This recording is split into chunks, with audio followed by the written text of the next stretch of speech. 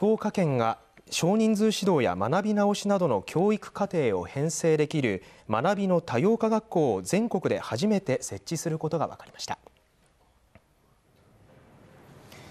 関係者によりますと福岡県は少人数指導や学び直しなどの教育課程を編成できる学びの多様化学校を2025年度に全国で初めて県立高校に設置するため来年度の当初予算案に1220万円余りの費用を盛り込みました。また来年福岡西方沖地震から20年を迎えるのを前に地震対策の事業として福岡県の防災アプリに地震メニューを追加。さらに能登半島地震の発生も踏まえて災害時における AI 技術や衛星データの活用を促すなど1億1700万円余りを計上しました。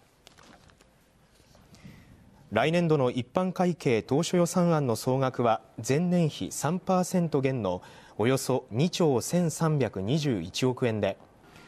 22日開会予定の県議会2月定例会に提出されます。